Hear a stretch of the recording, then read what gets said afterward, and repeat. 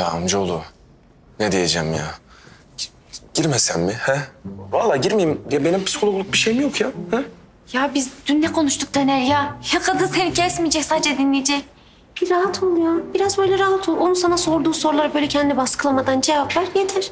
Aynen öyle amcaoğlu ya. Ne dert ediyorsun bu kadar ya?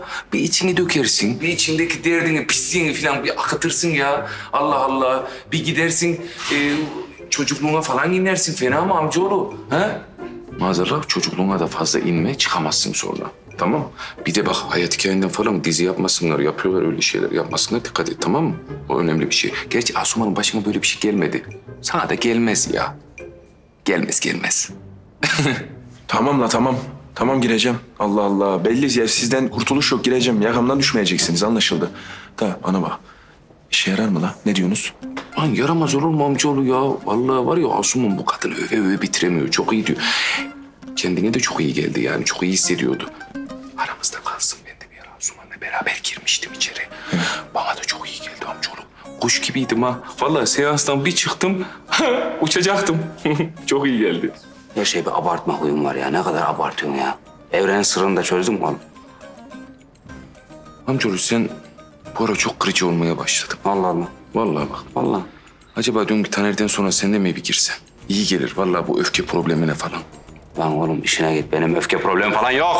Manyak. Kendi işine bak.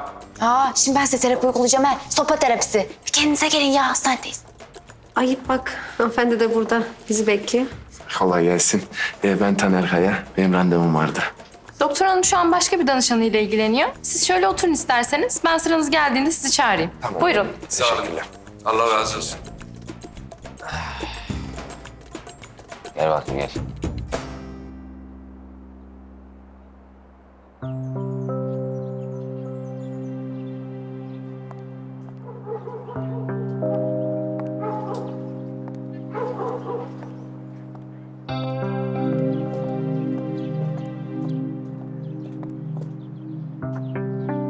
Sen hala hangi yüzle geliyorsun ya buraya? Sana bir daha bu kasabaya gelmeyeceksin demedik mi? Bir sen eksiktin ya. Göstereceğim ben sana şimdi eksikliği. Defol git lan buradan. Rahat bırak Mevsim Hanım'ı, rahat bırak.